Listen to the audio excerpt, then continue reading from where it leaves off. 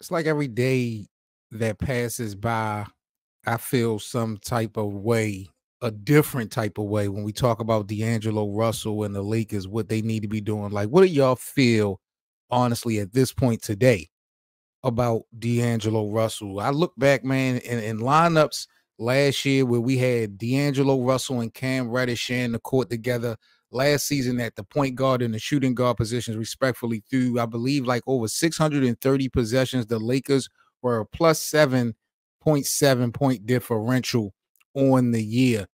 The usual starting lineup when you include um, Austin Reaves in that mix instead of Cam, when you had D'Lo, Austin Reaves, Rui, LeBron, and AD, they were only a plus 6.8.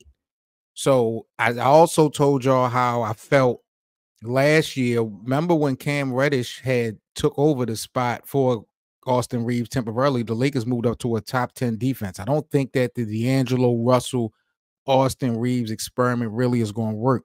To me, there's too much of a liability on defense when we talk about our backcourt. Offensively, they definitely gives us some moments but I don't know. And then it seems like when we talk about D'Angelo Russell specifically, every day, every couple days, there's another report coming out about how the Lakers are interested in, you know, moving him and and and they out here shopping. I don't know really what for. I don't know really what player is out there. I could pull up the um free agent list as far as the remaining guys and, and as far as trades go. If it's not a star, if it's not someone that really can change life, I've been disappointed with D'Angelo Russell in the past, but I don't want to get rid of D'Lo uh, just for a risk or just to chance it. Guys like Zach LaVine and all that, like I know what they about. Trae Young, I know what they about. I just don't know if they fit well with this team, and I don't know if I really want to give up D'Angelo Russell for an experiment, especially in LeBron James' last days. This report by Lakers Daily talk about how D'Lo is is not seen as part of the Lakers core moving forward. And that it just confuses me, bro. I don't understand for multiple reasons. If you're disappointed in the fact that D'Lo, when we really need him the most in the playoffs and stuff like that, how he doesn't show up, I can't argue about that. I can't campaign about that. But is it just the Denver Nuggets matchup? Or are we saying that D'Lo is a real choke artist when we get down to March and in April? Because I don't believe that.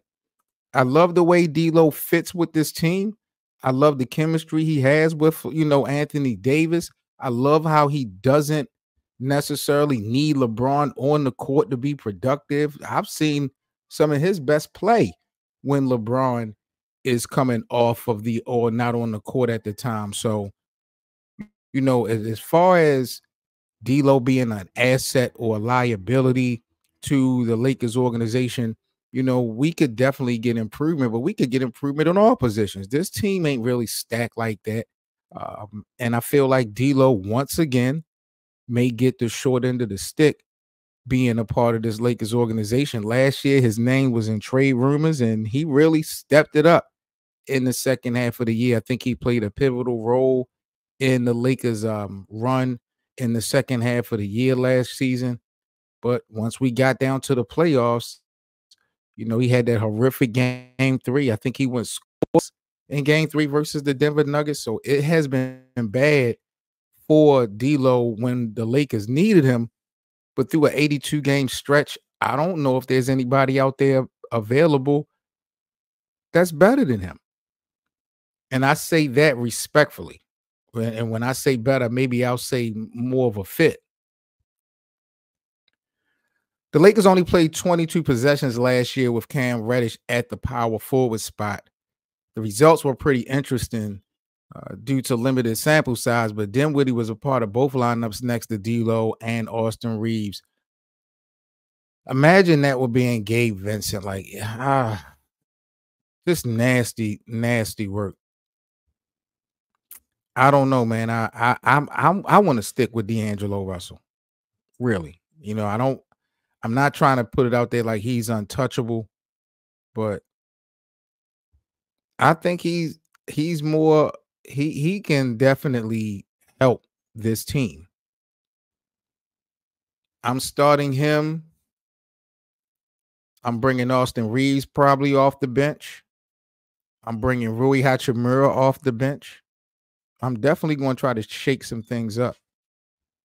But uh, as far as him not being the core of this future of the team, especially right now, uh, why not?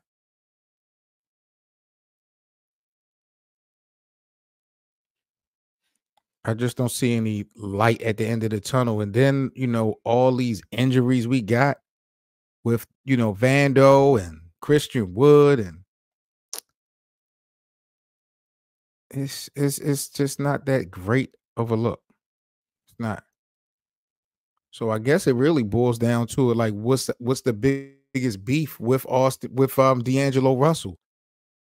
Do we feel like he a choke artist? Is his trade value really that much? I don't know.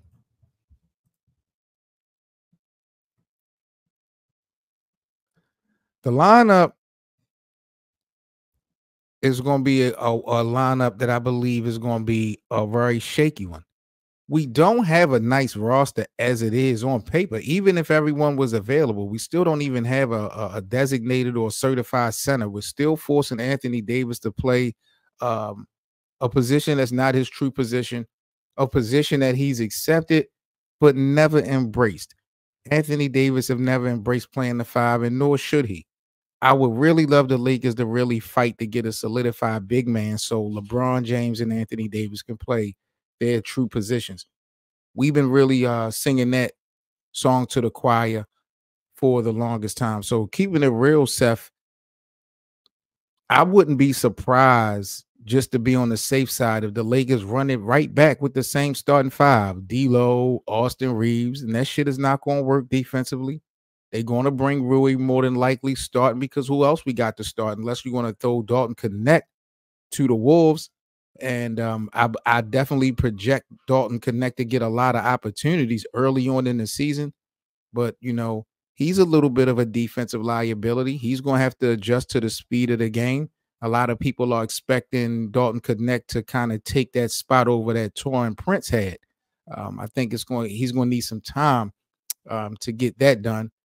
Then you got to consider people like Bronny James. Like, I know people really don't expect to see Bronny James that much, but when you look at this roster, how depleted it is, some of these young guys who we really didn't have any expectations for, they might need to actually do something sooner than later. They may have to do something sooner than later, and and um, I'm not sure what JJ Redick and this staff is going to do with the pieces that they got. Keep in mind, LeBron, Anthony Davis, and Rui. They all were just over in Paris playing in the Olympics. So we don't know honestly how gassed these guys are going to be.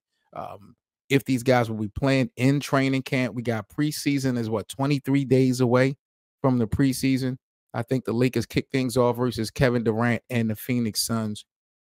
Um, but you know, D'Lo, I, I, I would hate to see uh, the Lakers rush things for whatever reason and get rid of D'Angelo Russell and don't really get anything back in return. You know, um, I wouldn't be upset with the Lakers if they just went down with the ship. And even if we lost, you know, just stick with it.